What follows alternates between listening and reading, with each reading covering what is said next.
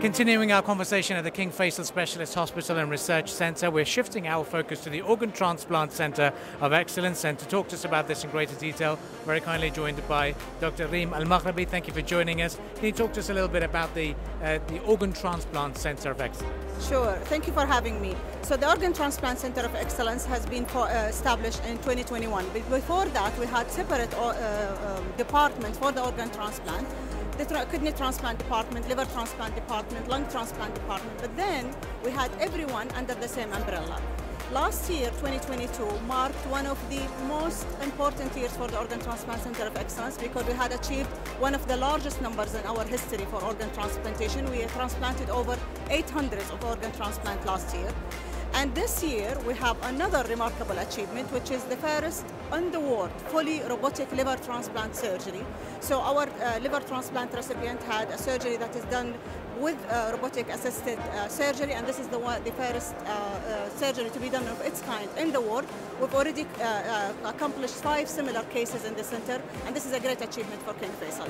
So looking at the, our booth, we are also demonstrating not only the numbers, but also the new programs or the programs that will benefit the larger number of recipients. So what, for example, we do the paired kidney exchange. This is not unique for King Faisal, but we are number one in the world in terms of paired kidney exchange done at a single center, and this is based on last year data.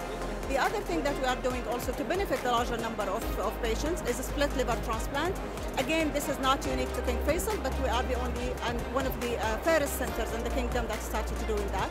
And split liver is actually having one liver from a cadaveric or brain dead donor, and then we split it to an adult recipient or a pediatric recipient.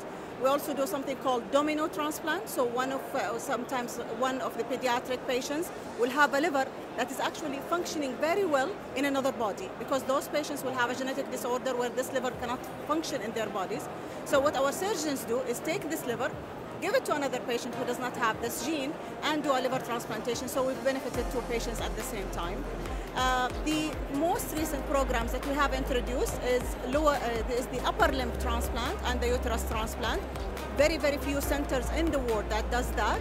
And we will be the first centers in the Middle East that will be doing this by highly sophisticated transplant surgeries.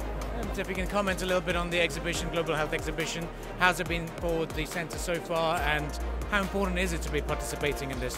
Oh, it's a fantastic opportunity for networking, for knowing what other uh, healthcare sectors and healthcare providers in the country are doing.